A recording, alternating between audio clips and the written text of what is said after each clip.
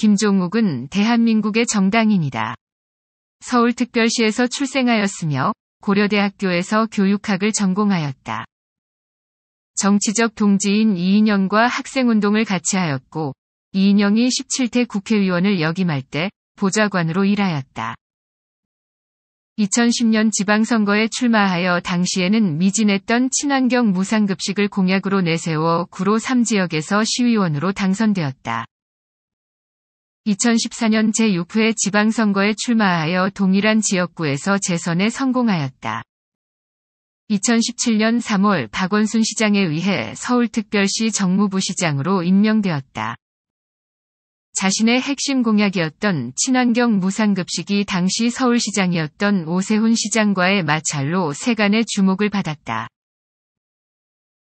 김 의원은 지난 2일 제안을 보냈는데 오늘까지 답이 없는 건 시의회를 무시한 처사, 라고 밝히며 오 시장의 책임감 있는 자세를 주문했고, 오 시장은 무상급식 외에 교육 현안 전반에 대해 논의해야 참여할 수 있다. 고 답하며 절대로 무상급식을 해서는 안 된다는 입장을 되풀이하였다.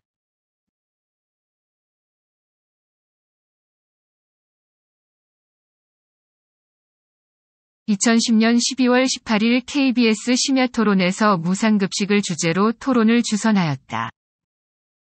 무상급식을 강력하게 주장했던 민주당의 토론 패널로는 이인영 당시 민주당 최고위원과 김종욱 친환경 무상급식 특별대책위원장이었고, 서울시 측에서는 오세훈 서울시장이 출연하기로 되어 있었으나 여러 이유를 들어 토론이 취소되었다. 당시 조국 서울대 법학전문대학원 교수는 오 시장은 시위회의 다수결은 거부하는가? 곽교육감과 토론하려면 시위회에서 먼저 해야지 왜 의회 출석은 거부하는가? 애초에 곽교육감은 참여하지 않는 전제로 패널이 짜졌는데 왜 갑자기 토론 거부 이유로 곽교육감의 불참을 거론하는가? 라고 밝혀 서울시의 입장을 비판했고, 선대인 경제연구소 소장은 이번 심야 토론 무상과 관련 서울시와 민주당 간 내탁 공방이라는 식의 기사 많이 나오고 있습니다. 이 또한 결국 오 시장이 노리던 거라고 보여집니다. 그래서 제가 애초부터 민주당이 이 토론에 응할 필요가 없었다고 한 겁니다. 라고 밝히며 우회적으로 서울시를 비판하였다. 김종욱 의원은 서울특별시 녹색건축물 조성 지원 조례안을 대표 발의하였다.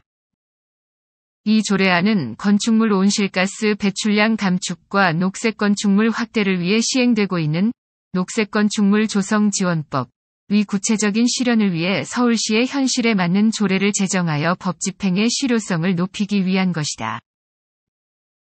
이 조례안은 친환경적으로 조성된 건축물과 에너지 효율을 개선한 기존 건축물에 대한 행정적, 재정적 지원을 통해 녹색 건축물을 확대함으로써 온실가스 배출을 줄이고 기후변화에 적극 대응하는 것을 주요 내용으로 하고 있다.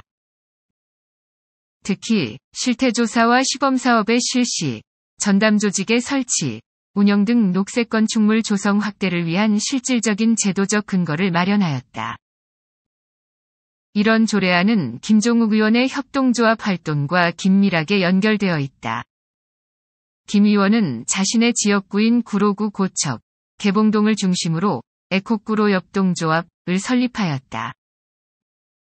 에코구로 협동조합은 태양열 발전을 통하여 에너지 자립도를 높이고 박원순 시장의 원전 하나 줄이기 운동에 적극 동참하는 효과를 가지고 있다.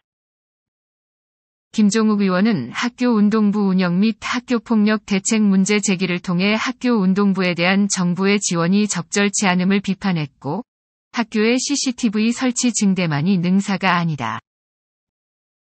며, 다시 한번 학교 폭력에 관한 근본 대책을 강구하고, 꼭 CCTV에만 의존하여 학교 폭력을 근절시키겠다는 경직된 사고방식의 전환이 있어야 한다. 라고 주장하며 정부의 올바른 대책 강구를 요구하였다. 시청해주셔서 감사합니다.